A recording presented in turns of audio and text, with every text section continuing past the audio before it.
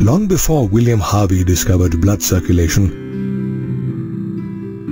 it was believed that good health was a result of the balance of certain humors like black bile, yellow bile, phlegm and blood inside the body. Further, persons with black bile were supposed to have a hot personality and fevers.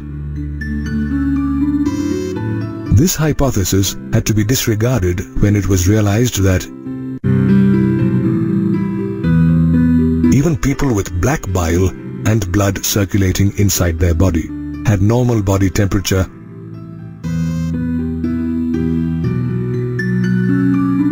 Health then came to be regarded as a state of complete physical, mental and social well-being. However, when our body is infected with a disease, we are no longer healthy. Diseases can be of two types, infectious and non-infectious. As the name suggests, infectious diseases are those that can be transmitted from one person to another. While some infectious diseases such as the flu are very common, others like AIDS are fatal. Diseases can be caused by a variety of organisms such as bacteria or fungi. All disease-causing organisms are called pathogens.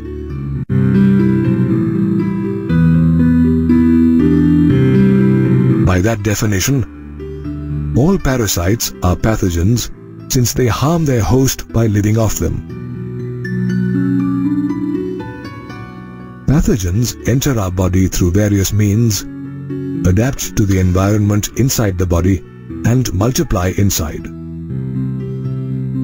They then interfere with normal bodily functions, causing either morphological or functional damage.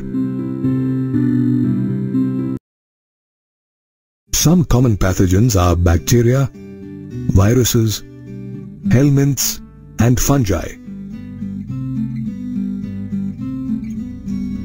The bacteria Salmonella typhi causes typhoid fever in humans. Usually, these bacteria enter the small intestine via contaminated food or water and migrate to other organs via the blood.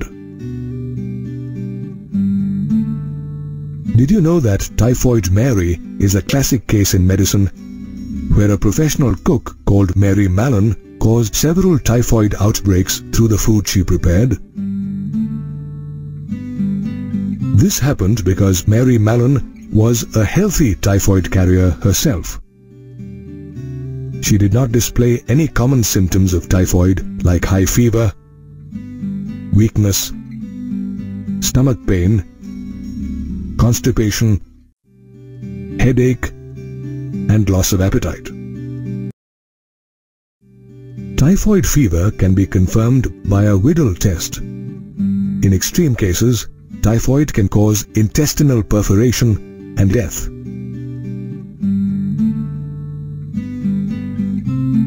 Other bacteria like Streptococcus, pneumoniae, and Haemophilus influenzae cause pneumonia that infects the alveoli of the human lungs.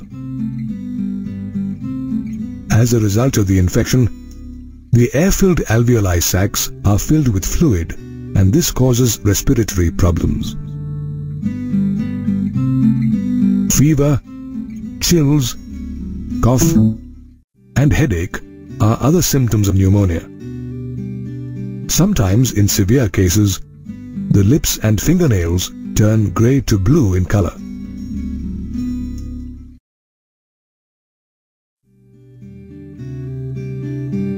Pneumonia is so contagious that merely sharing glasses and utensils or inhaling droplets released by an infected person can spread the infection. That merely sharing glasses and utensils or inhaling droplets released by an infected person can spread the infection or inhaling droplets released by an infected person can spread the infection.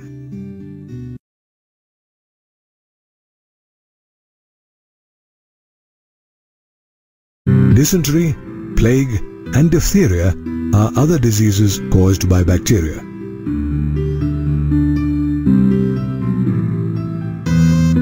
Viruses are not behind when it comes to causing infectious diseases. Rhinoviruses are responsible for causing the common cold.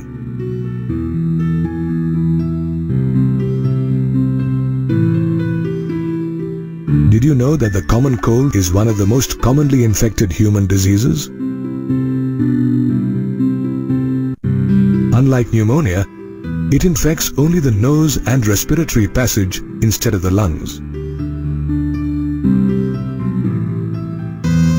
Nasal congestion and discharge, a sore throat, headache and hoarseness are other symptoms of the common cold, which lasts for about 3 to 7 days.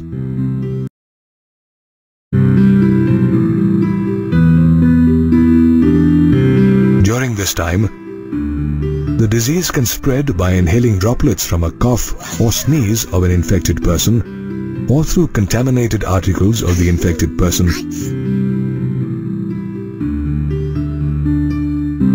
such as pens, books, doorknobs, computer keyboards and other similar objects.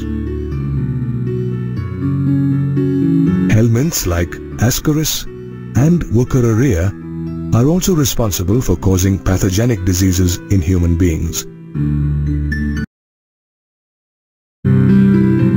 Ascaris, the common roundworm, is an intestinal parasite that causes ascariasis. It is characterized by internal bleeding, muscular pain, fever, anemia and blockage of the intestinal passage. Since eggs of the parasite are also excreted along with the feces of human beings, soil, water and plants are also infected. The infection spreads to a healthy person through contaminated food, vegetables and fruits.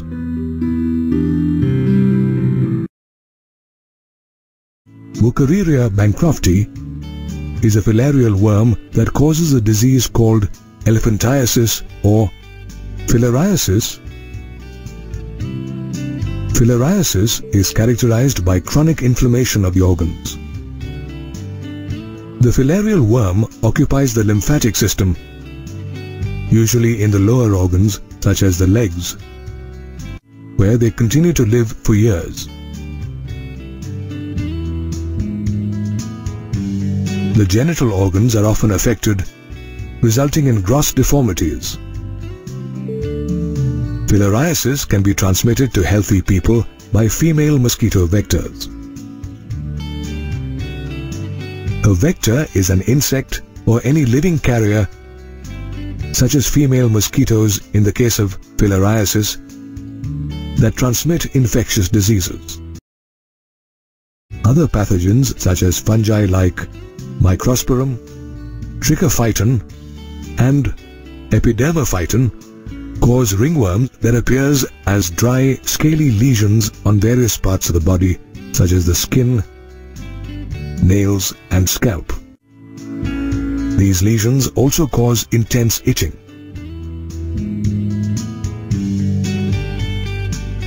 They thrive in skin folds like the groin or between the toes as fungi thrive in heat and moisture.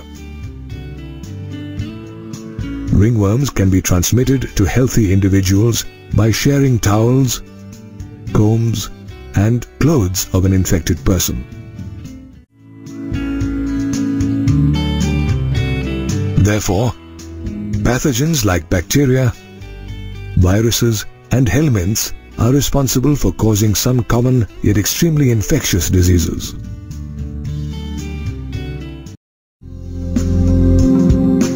Of the many infectious diseases that exist across the globe, one that afflicts 40% of the world's population is malaria. According to the World Health Organization or WHO, malaria kills a child every 30 seconds. Worldwide, it is estimated that there are 300 to 500 million clinical cases of malaria a year. Did you know that malaria is caused by a tiny parasitic protozoan called Plasmodium? P. vivax, P. malaria, and P. falciparum are different species of parasitic protozoa that are responsible for different types of malaria. Of these, P. falciparum causes the most serious and fatal type of malaria. Plasmodium enters the human body in its infectious form, known as sporozoites, through the bite of the female Anopheles mosquito. Sporozoites travel through the blood to reach the liver, where they initially multiply via asexual reproduction to form merozoites inside the liver cell. The liver cells burst and the merozoites are released into the blood. Then, they attack the red blood cells or RBCs by multiplying again via asexual reproduction and leading to the rupture of RBCs. The rupture of RBCs releases a toxic substance called hemozoin, which causes chills and high fevers every 3 to 4 days. As the released parasites go on to infect new RBCs, some merozoites develop into sexually differentiated forms such as male and female gametocytes. So, when the female Anopheles mosquito bites an infected person, these male and female gametocytes enter the mosquito's body.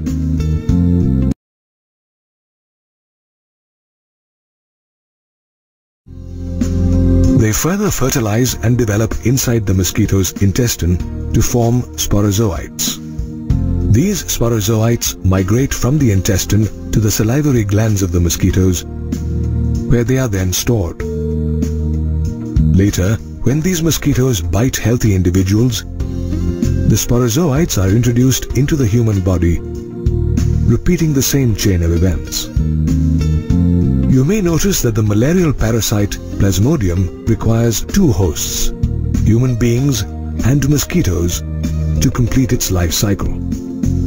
The life cycle includes two phases, the asexual one in human beings and the sexual phase in the female Anopheles mosquito. Also, it is Plasmodium that is the cause of the malaria, while the female Anopheles mosquito merely acts as a vector or a transmitting agent. Apart from malaria, amoebiasis or amoebic dysentery is another disease caused by a protozoan called Entamoeba histolytica that lives in the large intestine of human beings. It is characterized by symptoms such as the discharge of blood and mucus in the feces, severe pain in the abdomen, and constipation.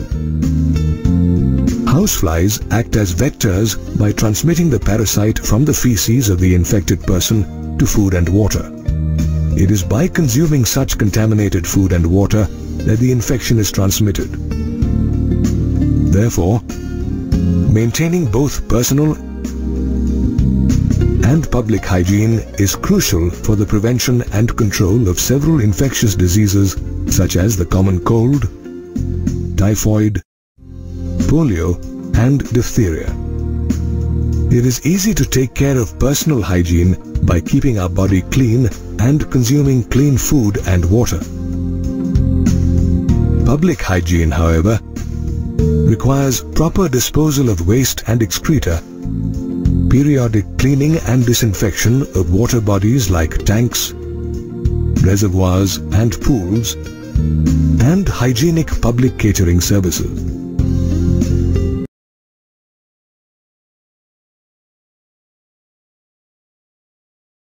Keeping water and food clean is important because most infectious diseases like typhoid, amoebiasis and ascariasis are spread by vectors that are transmitted through contaminated food and water. Further, it is important to control or eliminate vectors along with their breeding places. No water should be allowed to stagnate around residential areas. Even household coolers should be regularly cleaned. Insecticides or kerosene oil should be sprayed in ditches, drains and swamps. Some fish like gambusia that feed on mosquito larvae should be bred in ponds and lakes. Doors and windows should be provided with a wire mesh to keep mosquitoes outside and at night, mosquito nets and mosquito repellents should be used. Undertaking such control measures prevents the transmission of diseases such as malaria and filariasis which are transmitted by mosquito vectors. Even diseases like dengue and chikungunya which are transmitted by a mosquito vector called Aedes can be avoided by implementing these control measures. For airborne diseases like pneumonia and the common cold, care must also be taken that contact with infected persons and their belongings are avoided. While some like smallpox have been eradicated completely, others such as polio, diphtheria, pneumonia and tetanus can be controlled to a large extent by vaccines. With new emerging developments in biotechnology, several antibiotics and drugs have been discovered that are effectively used in the treatment of infectious diseases. Therefore, though malaria and amoebiasis are caused by protozoans, they are transmitted by vector mosquitoes. However, with careful control measures, vaccination and drugs, these diseases can be dealt with. You may have noted that some people get sick more often than others. When an infectious disease is doing the rounds of your locality, there are some who remain healthy while others take ill too soon. Also, even though our body is attacked every day by several infectious agents, we do not succumb to every agent. Why is that? The answer lies in the immunity of our bodies, which varies from individual to individual. Immunity is the overall ability of a host to fight the disease-causing organisms. Immunity is of two types, innate and acquired. Innate immunity is something we all possess since birth. It is a non-specific kind of defense, which provides different types of barriers to the entry of foreign agents to our body. Four different types of barriers are provided by innate immunity. Physical barriers, physiological barriers, cellular barriers, and cytokine barriers. The skin on our body is the main physical barrier to the entry of microbes. The mucous coatings of the epithelial lining of the respiratory, gastrointestinal and urogenital tracts inside the body are also physical barriers to microbes as they trap them. Saliva in the mouth hydrochloric acid inside the stomach, as well as tears in the eyes, act as physiological barriers to microbial invasion. Our body also has certain types of leukocytes or white blood cells or WBCs, such as monocytes, natural killer lymphocytes, and polymorphonuclear leukocytes also known as PMNL neutrophils, in the blood. Together, they constitute a cellular barrier along with macrophages in the tissues. They can also destroy microbes. Some virus-infected cells release proteins called interferons that prevent the spread of infection in the body thereby acting as cytokine barriers in the body. On the other hand, Acquired immunity is pathogen specific. It depends on the body's memory. For example, when a body encounters a bacterium for the first time, it produces a low-intensity response called a primary immune response and produces memory cells. However, when the same bacterium attacks again, the memory cells help to elicit a secondary immune response of high intensity. This response is also known as an anamnestic response. Both primary and secondary immune responses are made possible by two special lymphocytes in our blood. B lymphocytes and T lymphocytes respectively. B lymphocytes produce proteins to fight pathogens, whereas T lymphocytes help B cells to perform this task. The protective proteins produced by B cells are called antibodies. Each antibody molecule has four peptide chains, two small and two longer ones. The two small chains are called light chains, while the two longer ones are called heavy chains. Therefore, an antibody is represented by H2L2. IgA, IgM, IgE and IgG are some examples of antibodies in our body. Acquired immunity or the acquired immune response is primarily of two types. A humoral immune response and a cell-mediated immunity or CMI. It is the humoral immune response that is carried out by antibodies. Since antibodies are found in blood, it is called the humoral immune response. The word humoral refers to blood or any other body fluid. The cell-mediated immune response can be best understood with the example of an organ transplant. When organs like the eye, heart, kidney or liver fail, organ transplant is the only remedy. Thus begins the search for a suitable healthy donor for transplantation. This is important because grafts or transplants cannot be made from just about any source as the body will reject those grafts sooner or later. To find a perfect match, tissue matching and blood group matching are conducted before a transplant. This ability of the body to differentiate between self and non-self while rejecting grafts is the cell-mediated immune response. It is an immune response that doesn't involve antibodies, but it involves the activation of macrophages, natural killer cells or NK, antigen-specific cytotoxic T lymphocytes, and the release of various cytokines that fight antigens. Patients who have had organ transplants have to take immune suppressants all their lives to inhibit their body's immune response against the transplant. Then again, based on whether the antibodies are produced inside or outside the body, immunity can be distinguished as active immunity or passive immunity. When the body is exposed to antigens such as living or dead microbes or other proteins, it produces antibodies in response.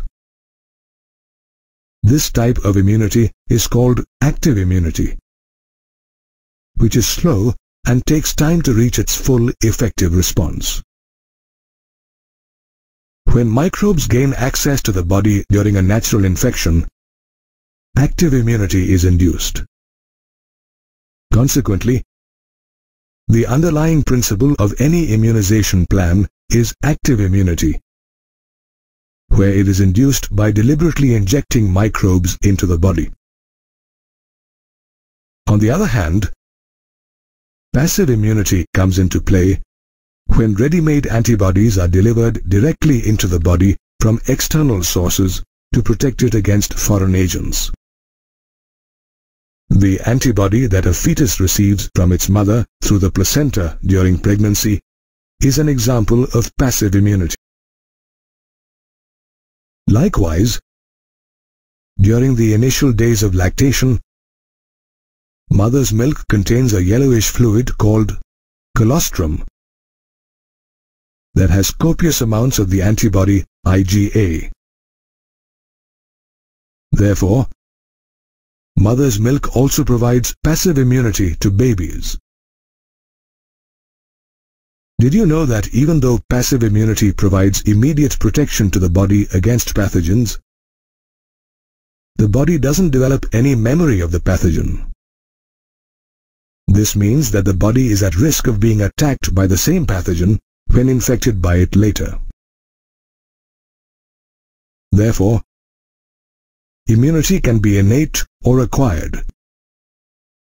It can also be either active if induced by an infection or a microbial attack, or passive if provided with ready-made antibodies. The immunity of the human body is based on memory. When the body encounters a pathogen for the first time, it reacts with a primary immune response and produces memory cells. When the body is attacked by the same pathogen twice, these memory cells offer an intensified secondary immune response. This memory of the immune system is also used as a principle in the immunization program.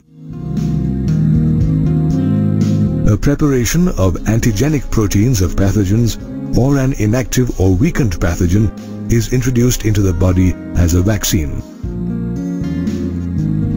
The antibodies produced in the body against these pathogens are then able to neutralize the pathogens during an actual infection. Vaccines generate memory, which enables B and T cells to recognize the pathogen quickly and produce an army of antibodies in response. Sometimes when a quick immune response is required, for instance during a tetanus infection where the body is infected with deadly microbes, preformed antibodies are injected into the body.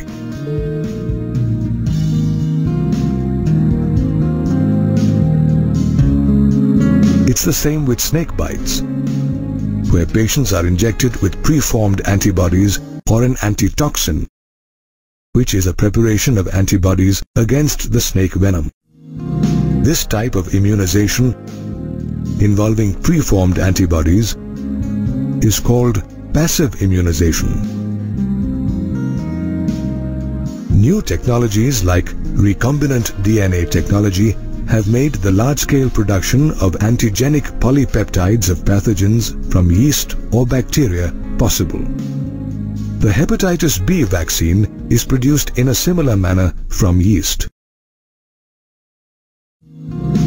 In higher vertebrates, like human beings, memory-based acquired immunity is so evolved that they can differentiate foreign organisms such as pathogens from self cells. Most experimental immunology is based on this aspect. In addition, sometimes due to genetic or other unknown reasons, the body attacks itself or self cells. This attack damages the body and is called an autoimmune response. An example of an autoimmune disease is rheumatoid arthritis that affects the joints. Similarly, apart from an autoimmune response, the immune response also comes into play during an allergy it is interesting to note that some particles in the environment, such as pollen, dust and mites, cause us to sneeze or wheeze for no apparent reason. This usually happens because people are allergic or sensitive to these particles. This exaggerated immune response to certain antigens in the environment is called an allergy. Whereas the substances to which such an immune response is produced are called allergens. Dust, pollen, animal dander and mites are some common allergens. The antibodies produced against these allergens are usually the IgE type. A runny nose, sneezing, watery eyes and difficulty breathing are common symptoms of allergic reactions. An allergic reaction is caused by the release of chemicals like histamine and serotonin from mast cells. Therefore, the use of drugs like antihistamine, adrenaline and steroids quickly reduces the symptoms of an allergy. To determine the exact cause of an allergy, the patient has to either be exposed to or injected with small doses of different allergens. The patient's reaction to each allergen is studied to arrive at a conclusion. Somehow, modern-day lifestyles that border on unhealthy have lowered natural immunity and heightened our sensitivity to various allergens. Moreover, a protected early childhood doesn't prepare the human body for the vagaries of the environment in a metro city. Therefore, even though our environment is continually getting polluted, and we are exposed to thousands of antigens every day. It is a combination of the body's immunity and a vaccination program based on immunization principles that help us combat infections and diseases. The human immune system works as an armor against infections and diseases. It helps the body distinguish between non-self cells like bacterial, fungal, and viral pathogens from self cells. The immune system responds to non-self agents and remembers them. It also plays an important role in reacting to allergens, organ transplantation, as well as autoimmune responses. The human immune system consists of lymphoid organs, lymph nodes, and lymph cells called lymphocytes. The lymphoid organs are where lymphocytes originate, mature, and proliferate. Lymphoid organs can be classified as primary lymphoid organs and secondary lymphoid organs. Bone marrow and the thymus are two primary lymphoid organs. Bone marrow is a flexible tissue found in the hollow interior of bones where all blood cells, including lymphocytes, are produced. The thymus, on the other hand, is a lobed organ which is located near the heart and beneath the breastbone. The thymus, which is quite large at birth, shrinks in size with an increase in age. By the time a person reaches puberty, the thymus shrinks considerably. Both bone marrow and the thymus provide the environment for the development and maturation of T lymphocytes. It is in these two organs that immature lymphocytes differentiate into antigen-sensitive lymphocytes. When lymphocytes mature, they move to the secondary lymphoid organs such as the spleen, lymph nodes, tonsils, Peyer's patches in the small intestine and appendix. It is inside the secondary lymphoid organs that lymphocytes interact with antigens and proliferate to form effector cells. The spleen is a large bean-shaped organ located in the upper left part of the abdomen, protected by the rib cage. It chiefly contains lymphocytes, erythrocytes, and phagocytes.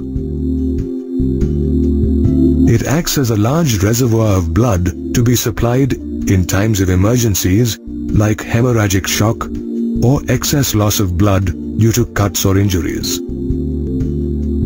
It also plays the role of an RBC graveyard by removing old or damaged RBCs from the body.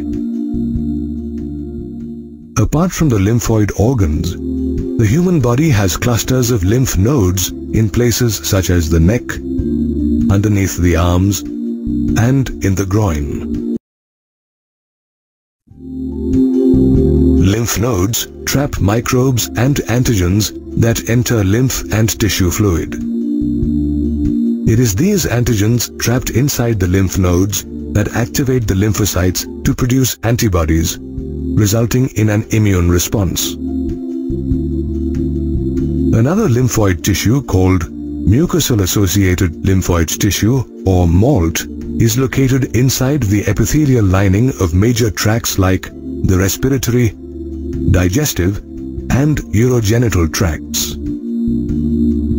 The T cells, B cells and macrophages present in MALT help regulate mucosal immunity. MALT constitutes about 50% of lymphoid tissue inside the body. Therefore, the immune system, which collectively comprises the lymphoid organs, lymph nodes and tissues, protects the human body from invasion by pathogens and microbes.